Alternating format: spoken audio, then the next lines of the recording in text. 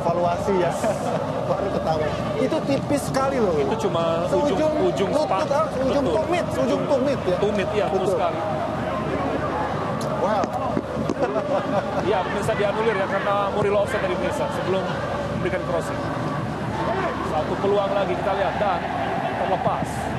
Angkat bola kali ini coba dikejar tapi masih ada Lukau di sana. Meneses pada Novan Sasongko. Kembali kita lihat kali ini Lukau. Rizky Pora. Rizky Pora lagi. Masih Rizky Pora kuasai bola. Oh, agak lemah umpannya pemirsa. Dion. Lolos Dion tapi. Oh, apa yang terjadi? Barat upaya terhadap Firly ya. Firly. Kali ini Murilo. Repetisi ya.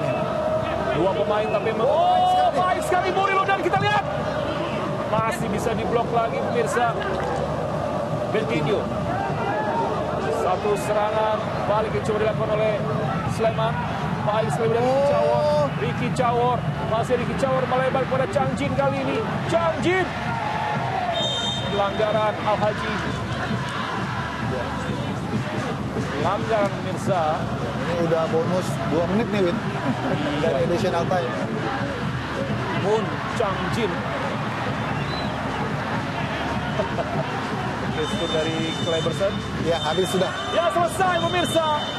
Bagaimana pertandingan yang begitu menarik di babak yang kedua ini dan Persa Sleman mampu betul-betul memanfaatkan keefektifan sepak bola yang mereka mainkan.